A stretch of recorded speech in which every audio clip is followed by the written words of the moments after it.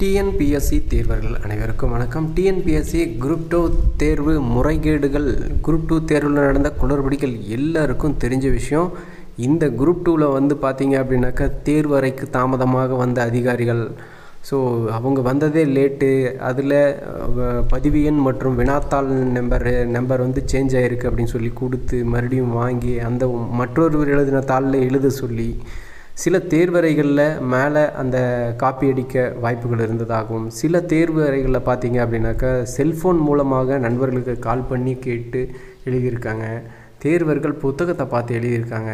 இதுபோல் பல காரணங்கள் பல குரடு குளறுபடிகள் இவ்வளோ இருந்தும் தேர்வு வந்து பார்த்தீங்க அப்படின்னாக்கா அந்த எக்ஸாமை கேன்சல் பண்ணிவிட்டு ரீ எக்ஸாம் வைக்கிறதுல அரசுக்கு என்ன பிரச்சனை? ஸோ இது இந்த இதன் இந்த எக்ஸாம்னால் எவ்வளோ பேர் பலனடைஞ்சிருப்பாங்க? இதில் ஏதாவது முறைகேடு மிகப்பெரிய அளவில் பணம் கைமாறி இருக்குமா? முறைகேடு நடந்திருக்குமா? லஞ்சம் வாங்கியிருப்பாங்களா?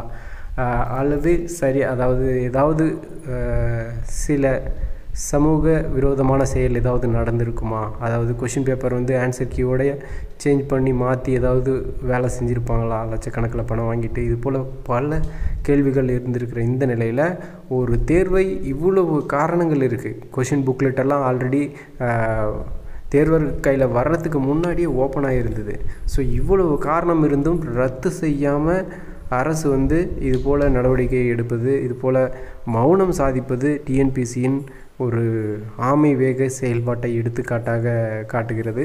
ஸோ தேர்வர்கள் வந்து ரொம்பவே எந்த ஹெல்ப்லைனுக்கு கால் பண்ணாலும் சரி சிஎம் செல்லுக்கு கவர்னன்ஸ் கவர்னன்ஸுக்கு எதுக்கு கால் பண்ணாலும் சரி எதற்கு மெயில் போட்டாலும் சரி எந்த வித மெயிலுக்கும் எந்த வித கம்ப்ளைண்ட் மெயிலுக்குமே எந்த ரிப்ளையும் இல்லாமல் இருக்குது ஸோ ஒரு ஒரு இவ்வளோ பெரிய பிரச்சனை நடந்திருக்கு. ஒரே ஒரு செய் செய்தி குறிப்பு மட்டுமே வெளியிட்டாங்க டிஎன்பிசி தரப்புலேருந்து.